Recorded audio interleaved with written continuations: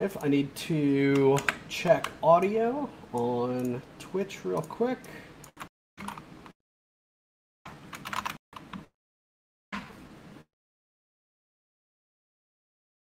Post. Possibly.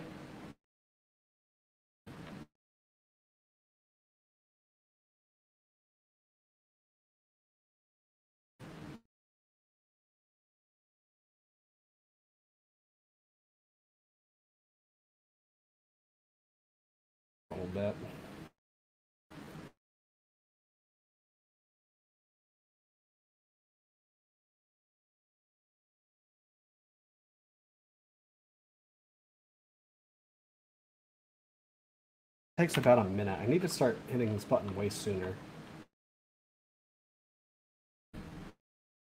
Way sooner.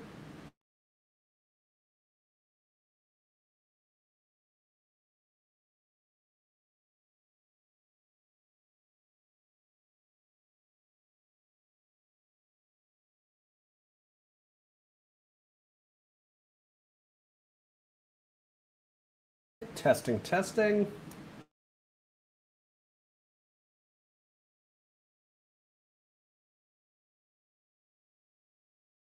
I think we're good. Okay. 271. Oh. I didn't get the email yet. Usually I get the email. Like right as I start, I'm like, uh oh, what's this email? Then I realize it's you. Okay, well, let's just start then. He'll come in. Ready? Okay. Okay. 271. Okay. Three, two, one. Hello, everyone. Welcome to episode 271 here on the Security Podcast here on the inThirty Network. My name is Hi. I'm Tom is not dying of the heat, but he's over there or there. Here, I survived. Yeah, but you had a, you had a secret weapon. Did. You have a seat. You learned I- you learned from your Midwestern roots what to do. Yeah. Yeah. When when it gets crazy hot outside, treat your apartment like a server room or like a data center. Hot zones, you have cold zones because your tiny little stand-up AC units, they can't take the heat. They got to stay out of the kitchen. Literally, your your kitchen should be a hot zone. So what we did, we we were literally blowing breakers. It was crazy. It got to like 109 uh, here in in Seattle suburbs, uh, where where I'm currently based. Um, and I've got a, a few of these stand-up AC units. They're not amazing, but they work well enough for for Seattle weather. It doesn't get super hot here. At least it didn't uh, until this week, which was awful. So you got to cordon off areas of your house and make hot zones and cold zones. And uh, it got bad enough that literally we could only run one AC because the others just literally could not take the volume of hot air that they were being faced with. So we packed ourselves into one tiny room, had all of the fans and one AC going, and we did survive. It wasn't fun. I didn't enjoy it, but we made it. This is to say, in the winter, look around your town, look for um, air conditioners. People are moving to central air, they're giving them away. My neighbor, know, a couple blocks away, gave away six air conditioners that I take and I use at my rental and my dad's rental because inevitably one breaks and we have them. And this week it's just as hot. It was 100 degrees here. People are like, Do you have air conditioners? No, I mean, you know this is going to happen. There's going to be 10 or 15 really hot days in the summer. You got to you got to have this. Now, I have central air and I I I didn't exactly know how to make it work, but we kept it at 74 and it seemed to do okay. So, we were at 74 all day, which is fine. It was fine for me. And again, you stay cool. You do, like you said, you stay in the coolest room. Fans are excellent to move the air. Um, if you're uh, doing the ice thing, you know, like put the bag of ice in front of the fan and let it blow. But anyway, you had air conditioning. So I guess my one recommendation is start looking for one. I mean, you don't have to get a portable one, but put one in the window or whatever it is, just in the bedroom. It'll be okay. Now the electric is a different story, but the good news is is that the weather breaks. Your weather is breaking. My weather is breaking soon enough, and we'll be back to normal temperatures soon. So. Kind of maybe yeah, it's, one of my friends mentioned maybe it's the the weird situation of we we literally just went through like three and a half days of the hottest worst weather Seattle has seen in decades uh, to like bad, but like it's it's been 81 here and it actually feels kind of chilly. Uh, it's kind of ridiculous. So I do have two more non AC tips for you. Number one, a bucket that you can put your feet in, fill that guy with water, just soak your feet. Like you can be watching TV, playing video games, uh, literally at work. Like I, I was sitting at my my work desk here in my apartment because I'm still working from home, and chill my feet in a bucket of water, and that did a surprising amount to stave off the heat. That, and you take a towel, you get it damp, throw it in the freezer, let it sit there for about 15 minutes, and just drape that guy around the back of your neck. It is, it is amazing. Seriously, I I did not know these beat the heat tips until my wife informed me because I just don't pay attention. Uh, and yeah, day difference. It was it was amazing. I mean, dare I ask, could you have gone into work? I could have. The issue is I take the bus to work, and buses don't really have a great air conditioning system, and they were uh, they were limiting rides and limiting how often they would ship people out. So, yeah, I could have stood around and waited 30 minutes outside in 109 degrees to catch a bus without great AC while wearing a mask because there's still COVID around uh, to get to the office to hopefully spend seven hours inside with AC. Uh, but that also doesn't help my wife or my pet rabbit. So I bring the rabbit into work because people bring dogs to work, and dogs and rabbits typically don't get along too well. You know, prey animal and, and carnivore. So I mean, I would have got. I, I'm not. I don't have school right now, but we don't have AC in our classroom, so anyway that's why we're off in the summer. Anyway let's let let's move on. I mean let's first knock out the big elephant in the room windows 11 are we doing it? Is it go to 11 or is it just the quest for more money? I think it's the quest for more money I, am honestly kind of disappointed in Microsoft because they made this big stink about, oh no, we're, we're taking all of your data for Windows 10 because it's the last Windows and we're never going to release anything ever again. It is Windows 10 from here till the end of time. And a few years later, they're like, hey guys, Windows 11, huh? That sounds neat. So. And it sounds like it's not like five years down the road. It sounds like it's it's less than two, three years.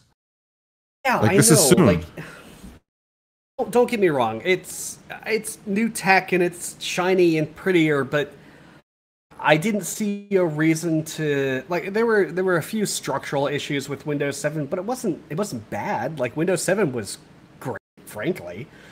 Uh, Windows 10 less great, but it's gotten better.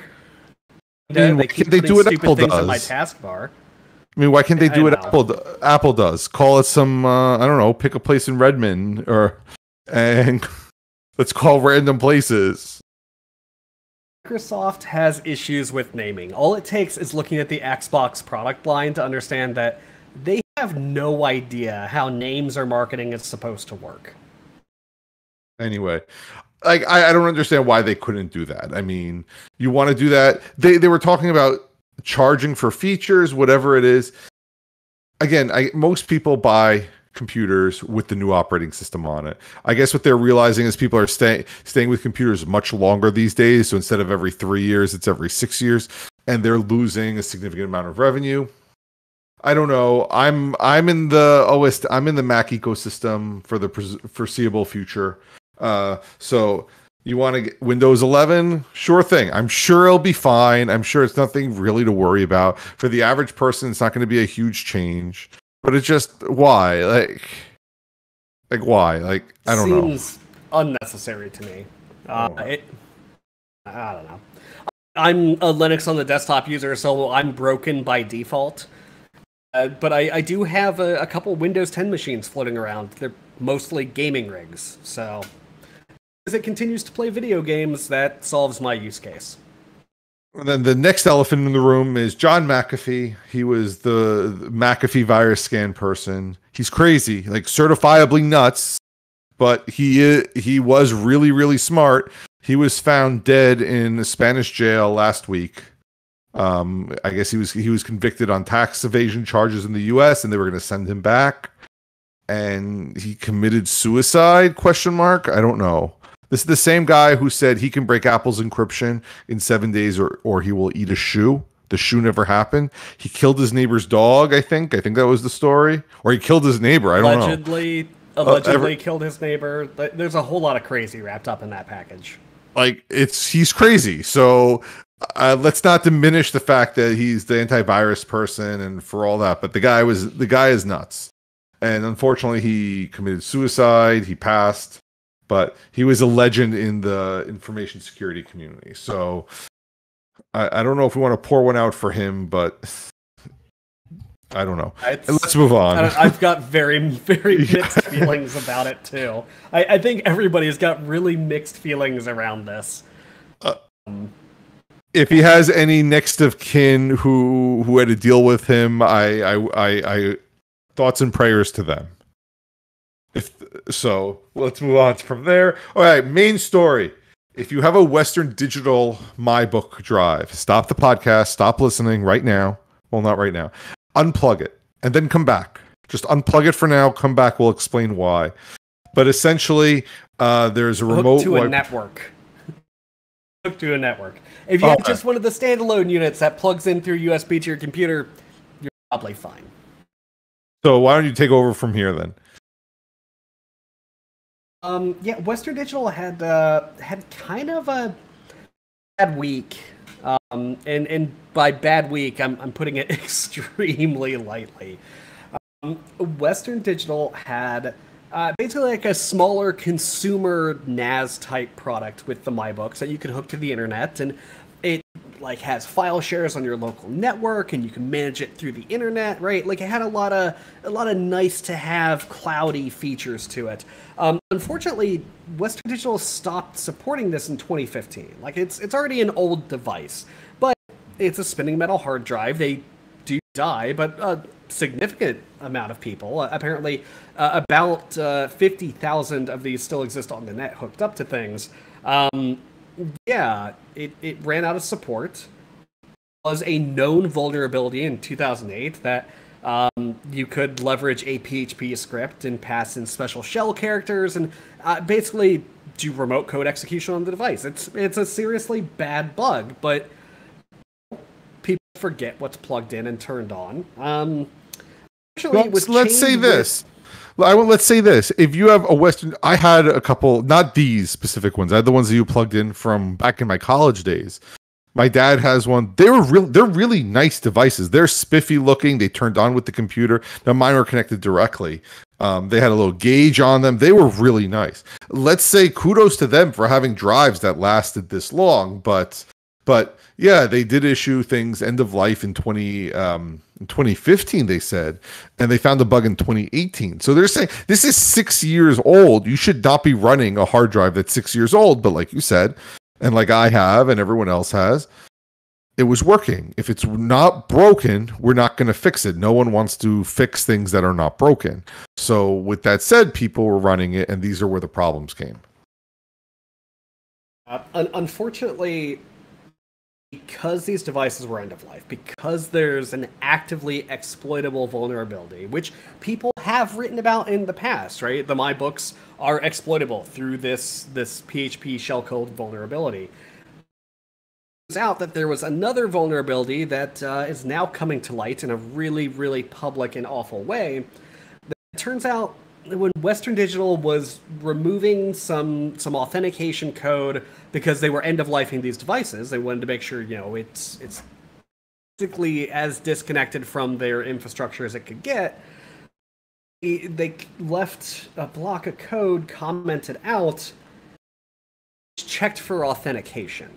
And basically, made sure that authenticated as the owner you combine the previous vulnerability of being able to issue remote commands on this device as the user that runs that web service, combined with this new vulnerability where yeah, it doesn't actually authenticate certain parameters. Um, and you get this where random drive-by hackers can introduce new malware and then wipe your device. So, you know, to, to bury the lead here, ton, like tens of thousands of these Western Digital My Books that were still hooked up, they were still running, they still had people's data on them, have been remotely wiped by hackers.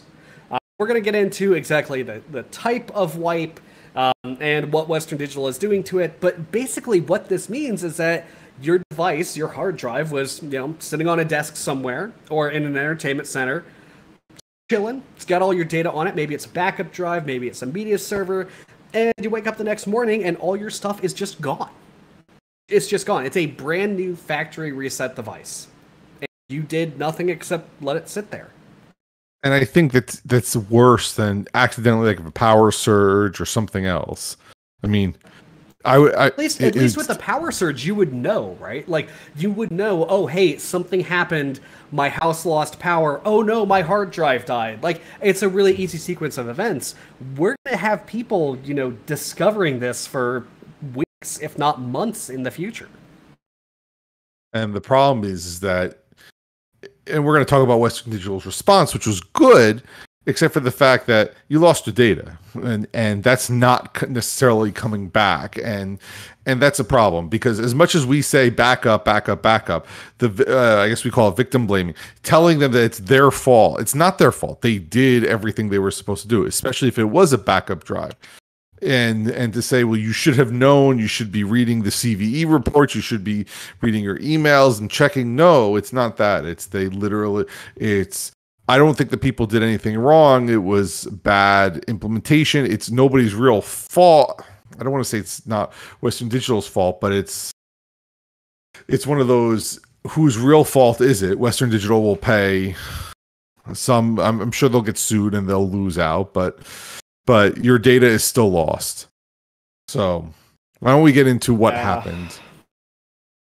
Well, because Western Digital flagged these devices as end of life, they said, "Hey, they're out of support. We're no longer providing firmware fixes." When this 2018 vulnerability came out, it didn't do anything, right? And I don't want to say that like all companies have to support all devices for all times and you can't ever get out of it. If you sell me a device, you have to support it for the lifetime of me, the consumer. That's that's ridiculous. No one's going to say that. At the same time, also had a really bad patch which allowed this device to not only exploited, which it was going to be exploited, right? Because it had a previous vulnerability, but then introduced a new zero day vulnerability, which people weren't aware of until they woke up and their data's gone. Like that, that is clearly their fault. And I, I don't want to like, don't want to say they're evil, they're bad at their jobs, they're incompetent, right? This is a bug. They they made a mistake here, but it's not egregious.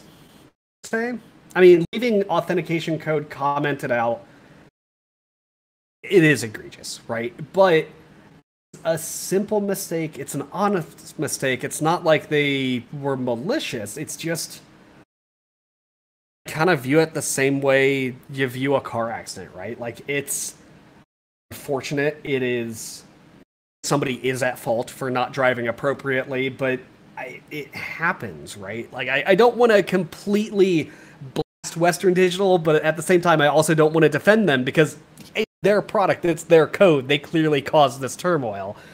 Um, it's it's difficult, right?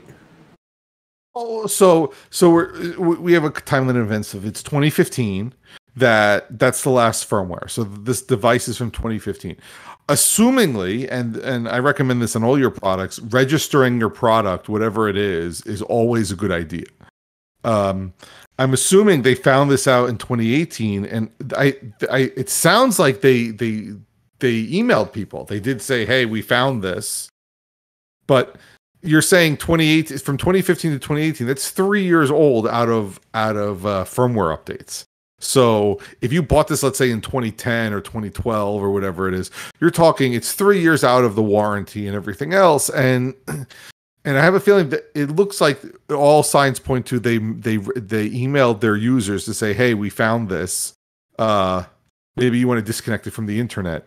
But I I, I don't think there was a solution to this. So yes, the, from the coding side, like you said, this is terrible. This is really their fault and everything else. From the PR side, I, it's it's like you you can't really support it for how long are you going to support it? Because if you say ten years, something's going to happen at year eleven, and so you have to cut it off and make a business decision, and that's it. And if you're if you're Western Digital, and uh, it maybe like maybe Western Digital could have said, okay, we're going to remove all remote capabilities and just make this a dumb USB hard drive. Well, if they push a fix that intentionally ruins or removes features of the device, you can't win that way either. Not only are you going to make users mad, but Sony famously, with the PlayStation 3, removed the ability to install Linux, and they were sued successfully by consumers for intentionally dumbing down the device that people bought. Like, it's kind of one of those you you lose either way. It's a rock in a hard place. So what do you do as Western Digital here? Uh, and this is where their response comes in, right? So Western Digital on their forums, on Twitter, on social media, on on Ars Technica, which we'll link in the show notes, right? They're getting blasted left and right, saying, "Oh my God, I've lost all of my data. I had this thing plugged in. It was there yesterday. It's not there today." What happened? And people start, you know, reconstructing log files and figuring out, oh it's like somebody got in with this vulnerability from 2018 and then they leveraged you know a brand new piece of malware that they built specifically to uh, execute wipe commands or factory reset commands on these devices which did a quick format on the hard drive all your data or references to all your data which we'll get into here in a bit because your data isn't necessarily destroyed it's just inaccessible but we'll cover that here in a minute Western Digital is now doing, and this is an update as of yesterday. That's uh, July 29th, 2021, at about 9 p.m. from uh, from Ars Technica sounding. Um, Western Digital provided really gory technical details.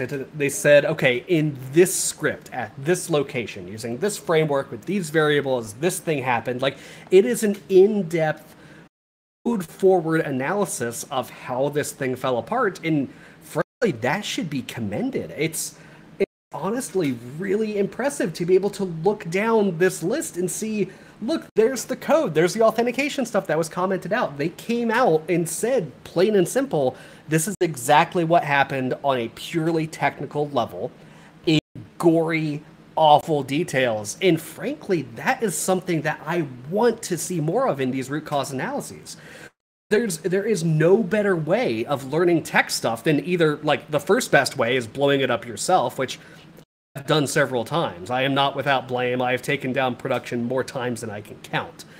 Just it comes with the territory of working in this field.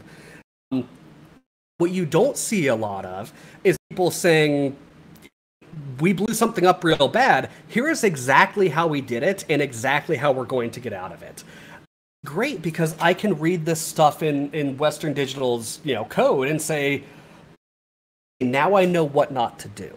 Right. So sometimes, the second best way to learn, if you're not going to blow it up yourself, but the second best way to learn is watch somebody else blow it up and don't do the thing they did to make it explode. It's it's a great learning opportunity, and frankly, this should be applauded.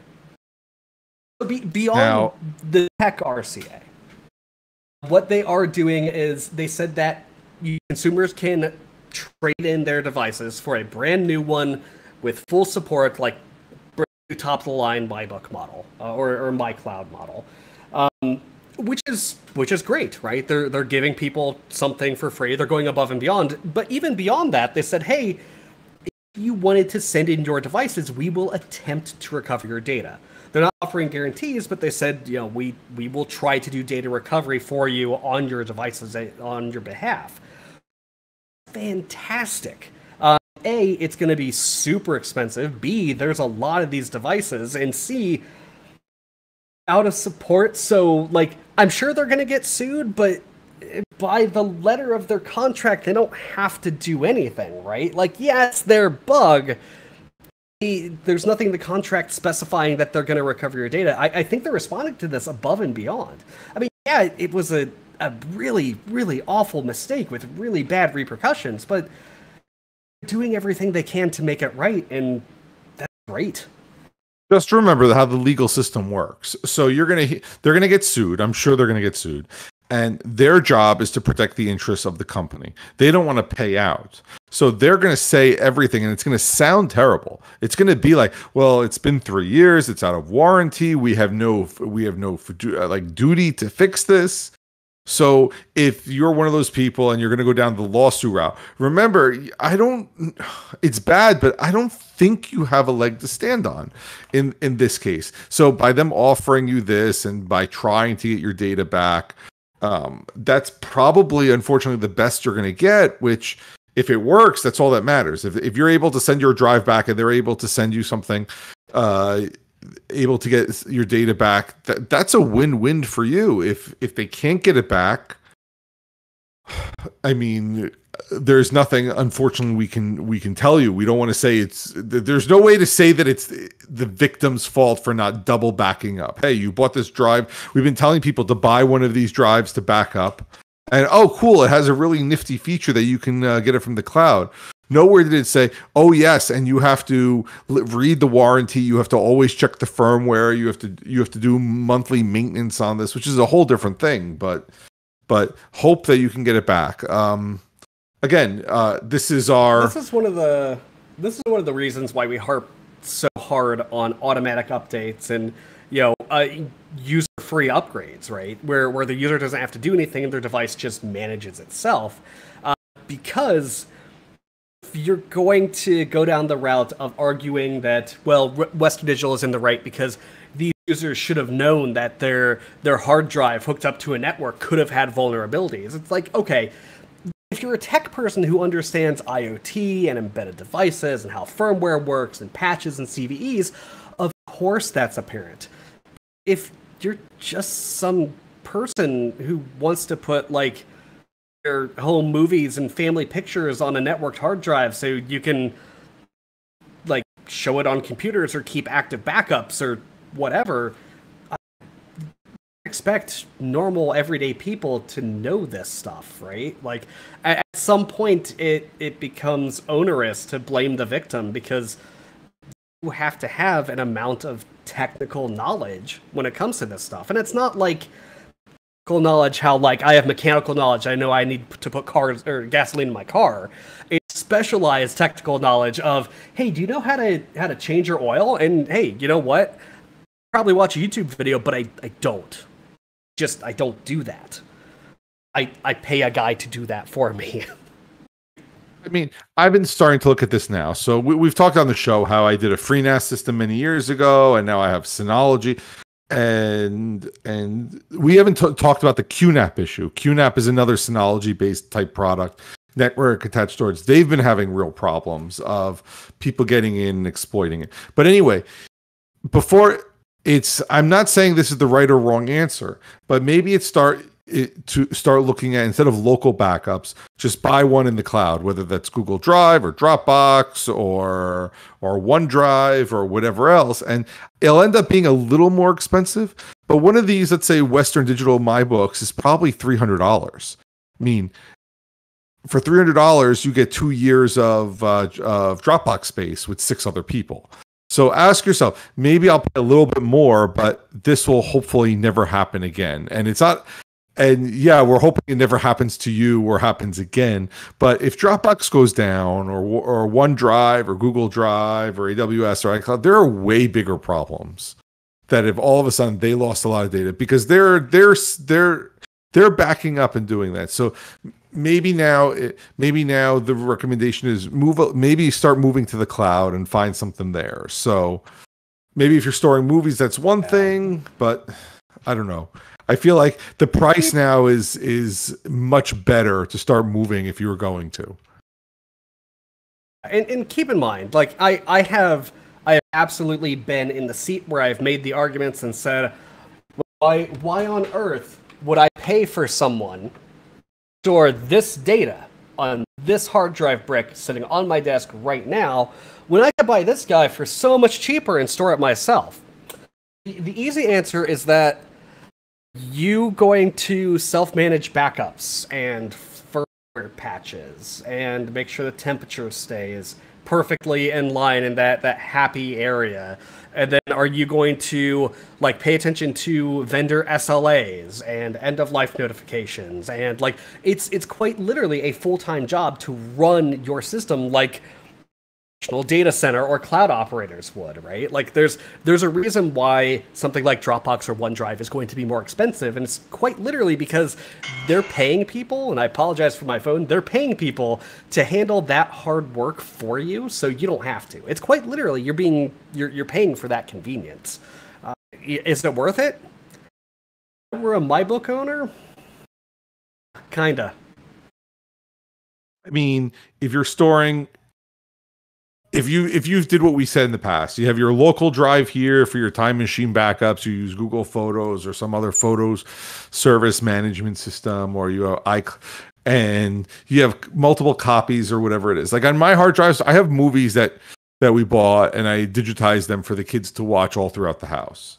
So if we lost them, I mean, I own the copies. I can re-rip them. I mean, it's not the end of the world. The stuff I have backed up is is duplicated in more than one place, but but if I lost it, it's not the end of the world. Um, it's just one of those. For me, it's having a lot of data nearby. Because again, we're we're assuming that everyone just has the internet bandwidth. It's not. That's the other thing. If you don't have the internet bandwidth, then that's a different problem. Anyway, there's not much more to say. I, I, I, don't know how to go back and there we, there's no way we can recover your stuff. There's no way we can prevent this from happening again. There's no we don't want to there's no technical thing that's to that you that somebody did something wrong. It's just a bad thing and and it's it's it's our just public service to say start think if you have hard drives start thinking about things like this or maybe you want to move or just here's your yearly reminder to think about your hard drives and keep in mind that literally this is this is like a, an extremely rare event right where where a hacker exploits uh, a 2018 bug, change that to a different zero day, and then factory resets and, and quick formats your device, right? Like that's whole lot of things in sequence that don't happen super often. You know what does happen super often? Disks die.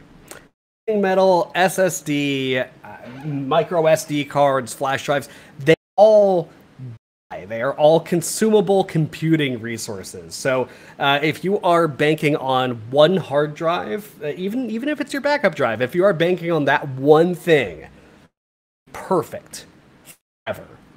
Um, to assume that they will die at the most inopportune times. I, I have been in rooms with people who are recovering their drive from backup, and it was like their computer was backing up to that drive perfectly for years. That had a bad sector on a not well exercised area of the drive, and when they went to recover their data, the drive finished dying. They didn't realize it, but it was in an active like it will fall over any day now. It just hasn't tripped hard enough to do that. Run recovery when they really need it, and it blows up. Backups in more than one spot and on more than one device, because where things are going to go wrong. So on on the technical details, I know we're a little bit over time, but on the technical details of the wipe, this wasn't like an in-depth hard drive shredding, right? This wasn't like overwriting your data several times. What happened is the factory reset triggered a quick format where they literally just write new file system information over top of the old stuff to create a fresh partition. That does mean is that data is still in there. It's not referenceable, right? Like it's literally just like taking everything in your house and just putting it in a big pile on the street, right? It's not organized. You don't really know where things are. It could be under some other stuff. Like you've got to go digging for that. So the good news around this data recovery effort is that there's potential for Western Digital to actually get things back, especially if it's well-known file formats like photos that happen to be JPEGs. Well, they they follow a very predictable series of uh, of bytes, and and they've got you know, a very predictable data structure. They could possibly pull that back. Like folder structures and file names, though, that are stored in in the actual file system architecture. Not necessarily. So you might get your your data back, but have it all be in that same pile. What about encrypted it's, stuff? Let's say your drive's encrypted if it's encrypted, then when you hand your disk to Western Digital, they're not going to be able to get anything because it's all a jumble of, of random uh, ones and zeros anyway. Like there's no marker for them to understand, oh, this is a JPEG, this is an MP4, this is a, a Word doc. Literally just nothing. But if you were using it in its default mode, yeah, there's a potential you could get some stuff back. But that's that's kind of the the gamble you take with uh, with encrypted drives is hey, if it's busted or if you lose your key, it is gone. But that's a feature of encryption. It's not a bug. I'm just, and then the last question is if uh, I my my opinion is if Western Digital is offering recovery, take them up on it. Don't take don't do anything in your hands. Turn off the drive, let it sit there. Um, and when they call, send it into them. Don't try and do it by yourself right now. Uh, maybe if they can't get it and you get it back, then maybe you try something else. If it's really that important, um, let them be the first one to touch it. Somebody who has done data recovery efforts, it is in the very best of cases. If you are trying to recover things on your own or migrating or formatting or doing anything to the drive except letting it sit there, you could be causing damage that makes files irreparable or irrecoverable. leave it to Western Digital. They're the experts. Like you can hire your own data recovery people, but it it gets expensive. My my company has literally in my company, uh, a company, not my current company, a company I have worked for in the past has shelled out money to do data recovery on drives that died when I haven't been able to get stuff back with, with my limited knowledge and, and tools. It ain't cheap. So leave it Western Digital, let them handle it, and don't don't try to be a hero because you could really mess things up worse. Imagine it's like you're a doctor and you need to operate. You gonna take take up the knife? Nah, you could cause way more damage than than a doctor. So Western Digital do the surgery. Okay, with that said, I'll just end it with any more questions. We have a signal group. Find us. Um, we're not that hard to find. Uh, and we'll get you in there. If not, we will see everyone next week. Stay cool, and I think next week. So we'll go with that. Have a nice day, everybody. Bye. Okay, I'm off.